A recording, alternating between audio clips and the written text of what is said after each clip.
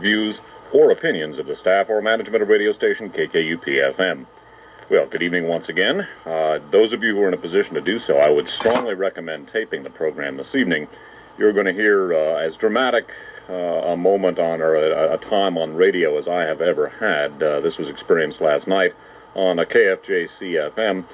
Uh, there's I am going to be playing as much as I have time for of an interview with Harry Martin, the editor of the Napa Sentinel, again recorded last night on KFJC. I had some technical problems, so the sound quality is uh, kind of poor in the first part of this interview, and uh, it was also uh, a very adrenal experience. So it's a little bumpy in places. Some of it might be a little bit hard to follow, but uh, it is intelligible, and I would strongly recommend that people get ready to tape. But before we get into that, a couple of announcements.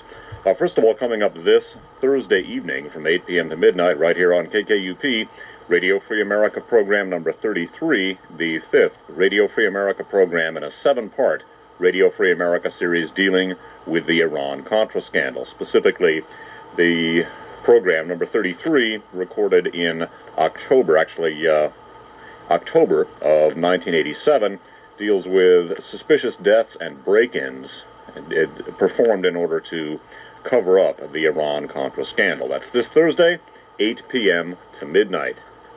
And on Saturday evening at 7 p.m. in room F12 on the Foothill College campus, I'm going to be giving a lecture about the Aryan nations, specifically the evolution of domestic American fascism from the 1920s right on up to the present. I'm going to be talking about connecting links between uh, elements of American fascist groups and the military and the government, uh, the roles uh, of elements of the Aryan nation in our political assassinations, and uh, going to be talking about a lot of things you don't generally hear about in connection with this subject. This lecture will be a fundraiser for KFJC-FM. For further information, call area code 415-949-7260 during business hours. 415-949-7260 during business hours.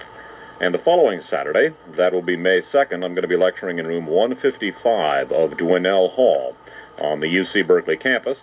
My subject will be connecting links between the assassination of President Kennedy and other American political assassinations and attempted assassinations of the 1960s, 70s, and 80s. This will be a fundraiser for KALX-FM, the UCal Berkeley station.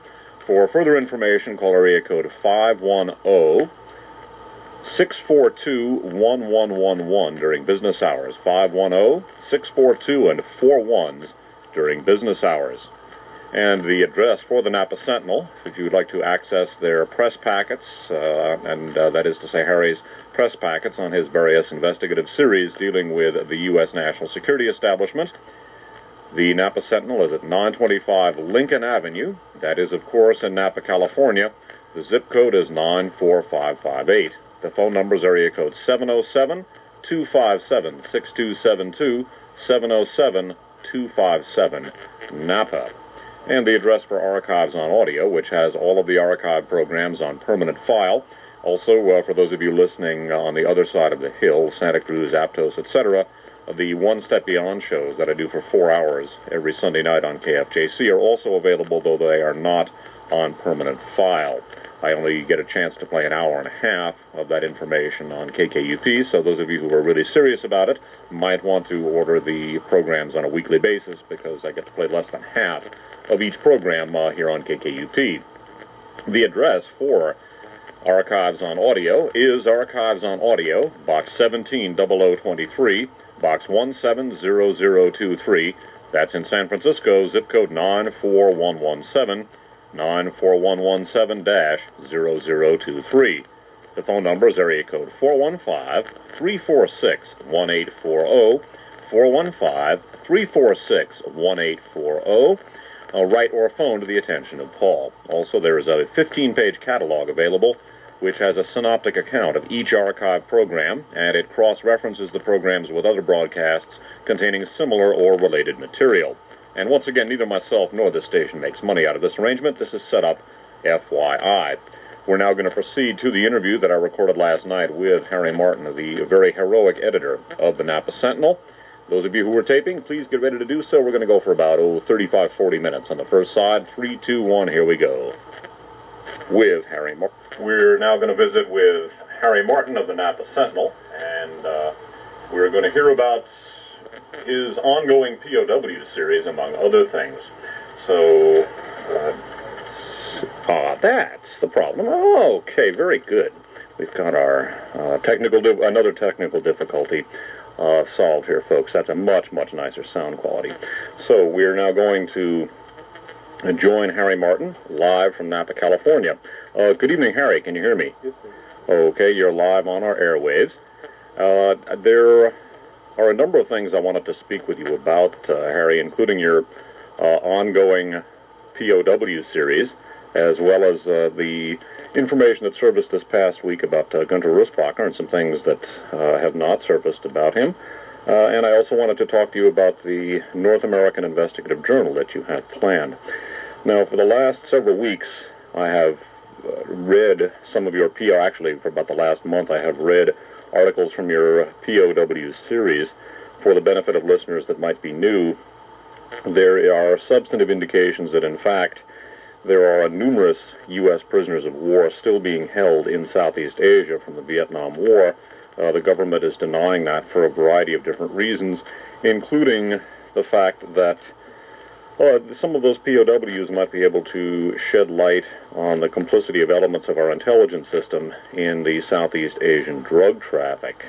Uh, there have been I did an archive show about that uh, concerning a book called Kiss the Boys Goodbye by Monika Jensen Stevenson and William Stevenson.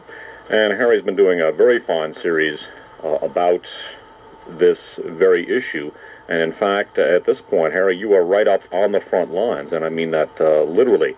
Could you fill us in on some of the, de- the developments that have not been read to this audience?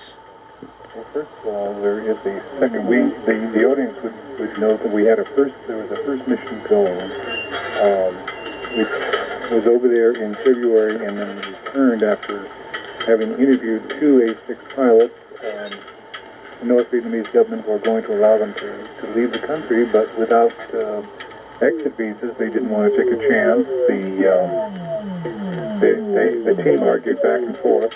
Uh, Harry, can you talk a little louder? We're having some problems uh, with your levels. The team occupi- uh, uh, argued back and forth over whether they should take these prisoners out without exit visas. So instead, they photographed them, fingerprint, and came back to the United States. That team is now back in Hanoi. At least its leaders are in, still in Nevada, but the um, the team itself is in Hanoi. Strangely enough, timing their their departure with the same with the Senate Select Committee on POWs, and I would suspect they want to link up with them, but I can't say for sure. In the meantime, we have another mission going, and this mission is basically um, somehow I got in the middle of coordinating it. Um, I didn't volunteer for the job, but the, the elements have been in place, and um, we are beginning to help uh, coordinate it. Now, this has been a very fascinating situation because we now see the exact inside of how the government works. We have been able to obtain through our DIA contacts several top secret documents, um, which uh, a set of documents is dated the 10th of uh, April. The second set of documents is dated the the 15th of April. Now, in the one document, now this comes from Guatemala 16. You have to understand the intelligence agency works out of Guatemala, and the first subject is, is it's a very top secret classification, and it says uh, subject review of ELINT, which is electronic uh, intelligence, and DIA intelligence, uh, indigenous assets, uh, SITREP, uh, and basically what they're saying, they're, they're looking at the private sector intervention. Now, this is the first time the government has admitted to even knowledge of the private sector inter intervention. Now, mind you, that first team that was going to go over to get the 10 and they were back in the country did testify before the Senate Select Committee. They have.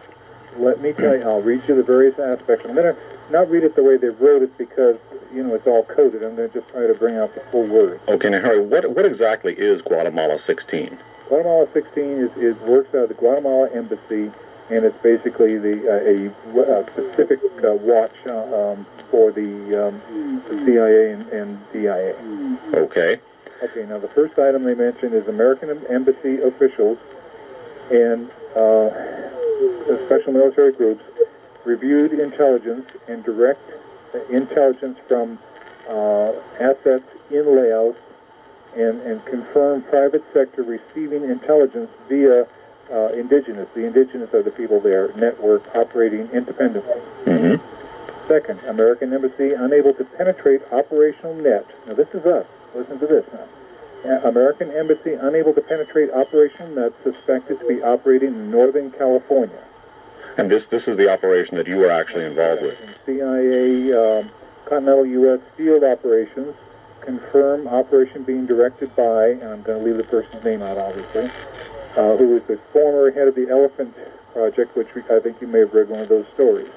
We did. What, for the benefit of people that might be new, Harry, why don't you review what the Elephant Project The Elephant is? Project was headed directly by Bill Casey. Um, Pat Robertson's uh, 700 Club was funneling, uh, actually doing the um, laundering of money. The, the entire operation was funded by heroin in Southeast Asia. It was to go in with six different teams to look at the uh, POW situation. They also operated a paramedical group in Colusa, California, um, a cover, and that was moved eventually to Montana. Um, and, and what it has here is that they have traced down that uh, the former Elephant Project leader is one of the individuals under surveillance and agency discretion. American Embassy received validation of visual of USN Lieutenant Larry James Stevens, MIA 21469. Now, Stevens is the one of the persons they had those photographs of recently, and, the, and, and they uh, a forensic scientist and the family said it was him. The U.S. government uh, debunked the whole situation, and here, in their own dispatches, they are identifying him. Okay, now Harry, uh, just by, by, way of clarifying and reviewing, so Elef, the Ele- Operation Elephant or the Elephant Project was a U.S. intelligence operation uh, launched by Bill Casey and supported by, uh, among other things, Pat Robertson's 700 Club and the heroin trade, and that this this operation was intended to locate POWs in Southeast Asia. Yeah, but not to release them, only to locate them. Aha. And uh, now this uh, the Guatemala 16 group is an element of U.S. intelligence which is opposing the operation that you yourself are directly involved in, correct? Correct. And, and as I say, it says American Embassy unable to penetrate operational nets suspected to be operating in Northern California. Now, further, mm-hmm. Embassy, American Embassy received confirming uh, private sector project may have established direct contact with USA Air, uh, United States Air Force Lieutenant Colonel Charles Stoddard Rowley, another prisoner of war that is now showing up. Remember, there are no prisoners of war alive in Southeast Asia, according to the government, and here in their top secret memos, there are two names right now that have showed up. Now, listen down what they're doing. Uh, Harry, how's that last guy's name spelled? Uh, uh, Charles Stoddard is S T O D D A R D. Last mm-hmm. name Rowley, Rowley uh, is R O W. L-E-Y. Okay, now, Harry, uh, if you could speak as loudly as possible because we're having a little bit of problem with the phones here, and it, it's hard to get uh, our two levels you know, Okay, here's a very important thing. Now, we talk, talked about the interdiction, right? Right. Now, item number five, and this is on the, the, the 10th. Item number five, to preclude, and, to preclude anticipated missions, recommend interdiction of, this is the guy that is, is leading the team, Uh, operational window concludes on 425.92. Confirm bank assets frozen. Now, what happened with this guy? His company wrote various checks. The bank assets are frozen, the checks bounce, and then the local district attorney in his county is instructed, and I'll show you the instructions, was instructed to prosecute him for a $1,925 bad check. Now, this this is the leader of the your team to locate POWs. That's correct. Now, when they and of a $1,925 check, they asked for $60,000 bond. And uh, this, this basically in order to uh, get the leader of your team on ice. That's correct. Now on Friday, he was subject to be prosecuted, and we bought the check five minutes before court. And so in other words, that they would know that they so they would right, and they could right. not prosecute. Mm-hmm. However, yesterday we received an urgent call from inside the DIA, which said uh, that we had to contact that man and get him out of his house because the DIA and the Defense Department and the FBI were en route to seize all documents in his possession. Okay, now, Harry, uh, a lot of listeners may be wondering, particularly people who are newer to the program, uh, how in the world you yourself might be able to be involved in and, and actually operating a mission like this, uh, perhaps you would review some of your uh, connections uh, going back to your work in defense publishing and some of the people that, uh, you know, without, of course, revealing any classified information, some of the people that uh, you have been able to, some of the, your contacts which have permitted you not only to access much of the inside information that you have concerning many of your national security investigations, but also uh, what permits you yourself to be actually involved in attempting to locate these POWs now. Okay, well, first of all, our, uh, we spent five years as publishing defense publications, various ones. We were one of the most quoted in the Pentagon, and we established very close ties with various military from the Marine intelligence, uh, uh, Naval intelligence, Air Force intelligence. Uh, Eugene Tighe, who was the head of the Defense Intelligence Agency, who was basically uh, um, blackballed after he, uh, I mean, he retired, but they, he's been criticized heavily after he began to uh, announce that these POWs were still alive in Southeast Asia. We also worked with the Mossad. Uh, we were the first and only journalist group allowed into Lebanon during the invasion. We were able to send a man from West Germany behind the Iron Curtain to work in the Soviet laser, laser laboratories to determine what the Soviets were doing in the Star Wars program. Cap Weinberger, who was the Secretary of Defense, uh, at one time called us up, uh, I think it was around 1984, and said that um, it was very critical that we uh, publish our articles on the MX uh, missile because the